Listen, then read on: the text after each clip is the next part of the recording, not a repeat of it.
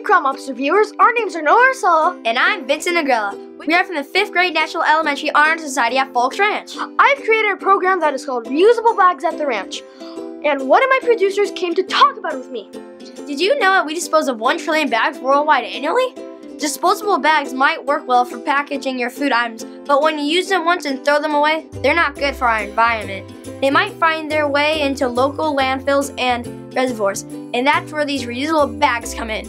These bags were made of fabric trimmings from garments created by Curious Georgia Ltd, an online kids clothing business.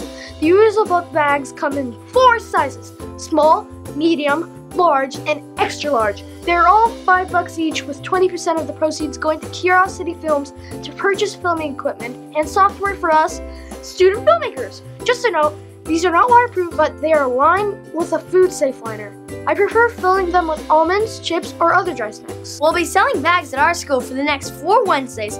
That's May 21st and May 28th, June 4th and June 11th. Sales start at 2.25 and end at 3 o'clock at our school, Foulks Ranch Elementary located at 6211 Laguna Park Drive in Elk Grove, California. If you can't make it to our school to purchase your own bag, we have a solution for you. Go online to curiousgeorgia.etsy.com to order snack bags and pay using your PayPal or credit card. 20% of your purchase will still be sent to us. Shipping charges will also be added to the purchases made online.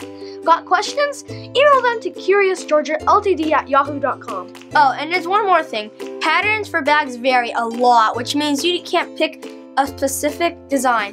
But you can indicate if you want bags for boys, girls, or gender neutral. Grab a bag, have a snack, and feel good that you're environment.